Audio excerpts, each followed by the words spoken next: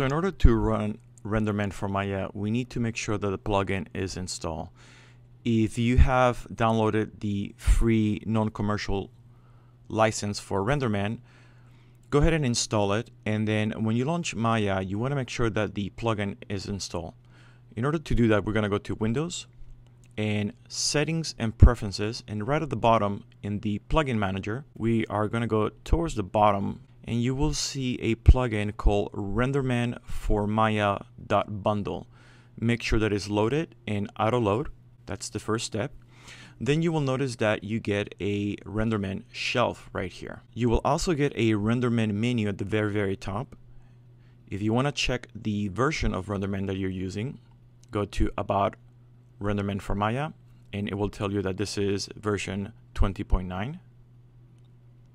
And the third place we're going to check is the Hypershade. We can go to the Hypershade by clicking on this icon right here, or going to Windows, Rendering Editors, Hypershade.